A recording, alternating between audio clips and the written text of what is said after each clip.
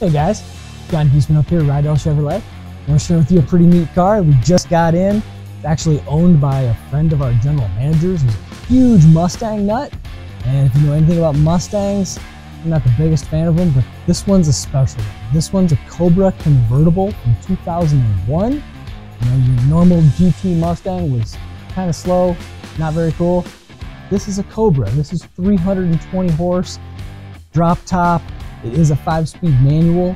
Uh, this one also has an awesome Borla exhaust system that sounds amazing. Let you hear it in just a second. You know, this is zero to 60 in less than five seconds for less than 20 grand. Pretty amazing. This car has 67,000 miles on it. It is available at Rydell Chevrolet. If you want to know more, give me a call. John Geesman, Rydell Chevrolet. Let's hear it.